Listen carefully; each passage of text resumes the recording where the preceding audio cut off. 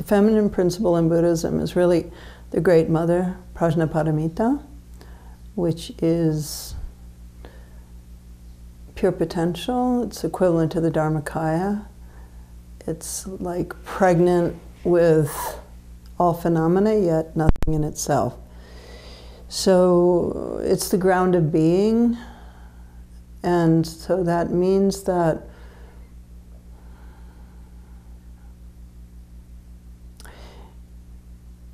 it's permeating everything. It is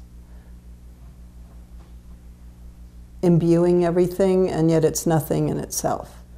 So the, the, the feminine principle is that. It's, it's Yum Chenmo in Tibetan, Prajnaparamita, Sanskrit. And so if it's the ground of being, then it is the ground of being itself. But that, that ground of being needs to be recognized. And so in the Yab-Yum image of Samantabhadra and Samantabhadri, Yab-Yum meaning the male female in union, Samantabhadri is the ground, the, the, the Dharmakaya, the open, pure potential of awareness that, pure, that permeates everything. And Samantabhadra, the masculine, is the consciousness that recognizes that. So when you see them in union, it's the ground and the recognition of the ground. So it means the, the return to non duality from the basic split into duality. Well, the feminine, the feminine principle in Buddhism, the way it's understood in Buddhism, is not something that's known in our culture and it's not something that's taught. It's not that it's not present, it's not that, you know, it only lives in Asia, but it hasn't been really taught in our culture, and, and to a large extent, it's not taught by Buddhist teachers either. And so I think the value of, of a conference like Wisdom Rising is to, to look at that. Well, what is it, and, and what, what's here for us? And then in the West, you know, if we, we grow up, you know, uh, men and women, um, you know, what do you even learn about this? Is it even discussed? Is, I mean, did you ever hear about feminine principle when you were growing up or the sacred feminine? Uh, maybe, maybe, but maybe not also. It's quite possible not. And so for me, this is really important because the world is out of balance.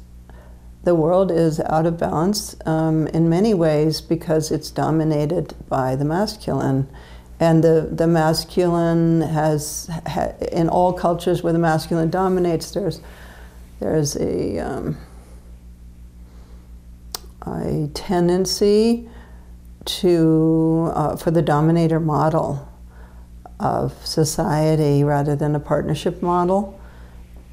And, um, and so that's gotten us into the ecological situation that we're in right now and into um, our political situations and so on.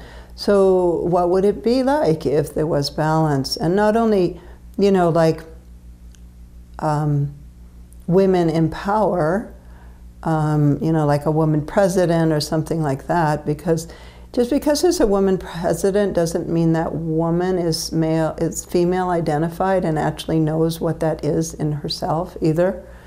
Um, she may be, just be like, I'm just as good as a man, rather than I actually have something different to offer.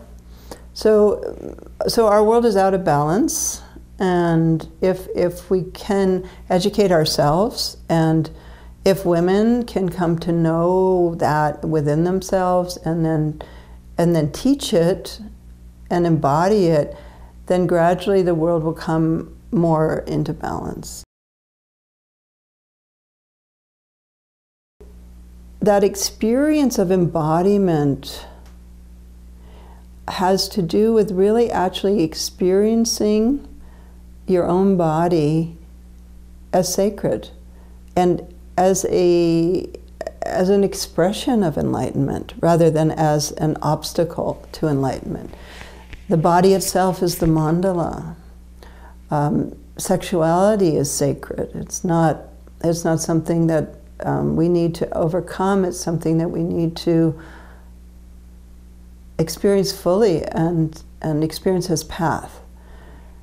And so there's that aspect of the feminine embodiment. I think also the feminine is an intuitive knowing, uh, an intuitive um, way of moving uh, in the sense of not necessarily in a linear way, in a, in a spiral, a spiral way of thinking, of being. And that space allows for creativity, it, it allows for synchronicity to occur. It, it allows space for all kinds of things to happen that, that can't happen when everything is sort of cut and dry.